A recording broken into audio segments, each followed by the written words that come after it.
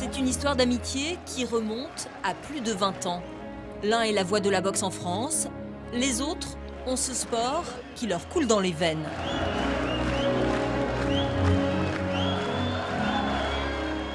Jean-Philippe Lustig et les Jacob, le journaliste sportif et la dynastie des boxeurs calaisiens. Ça ne pouvait déboucher que sur un livre. Bienvenue chez les Jacob.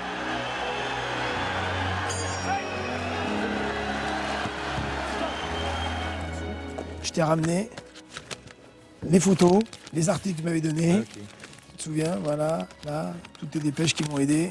J'ai vraiment une affection particulière euh, pour euh, tous ces Jacob parce que depuis 25 ans, quand, quand, Thierry a commencé sa carrière pro, moi je commençais ma carrière de, de, commentateur, de journaliste à Canal. Donc il y a, comme des voies parallèles. Et puis de mettre en valeur un gros coup d'éclairage sur une famille qui finalement est très connue dans sa région, dans sa ville, parce que c'est le symbole fort de, Calais, mais en même temps, elle n'a pas forcément la notoriété qu'elle mérite à l'extérieur.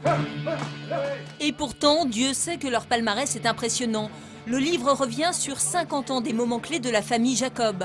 La victoire de Thierry en championnat du monde face à Saragossa, les exploits de Romain en championnat d'Europe, ou le combat épique du père Thierry face à Mackenzie c'est des souvenirs qui, qui, sont énormes et qui resteront marqués à jamais. Pour mes enfants, pour mes petits-fils, plus tard, mon grand-père a fait ça, mon père a fait ça, et ils verront que vraiment que la famille Jacob, c'est une famille de grands sportifs. C'est une famille assez incroyable. C'est vrai quand on est dedans, on s'en rend pas vraiment compte, mais quand je l'ai lu, moi qui m'y à lire des histoires de sport, de, familles un peu euh, qui sortent de l'ordinaire, ben on peut dire quand même que la famille Jacob sort de l'ordinaire.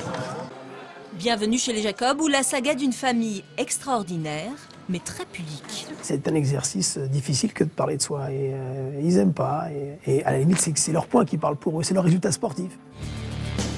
Et l'album de famille n'est pas prêt de se refermer, car de belles pages restent encore à écrire.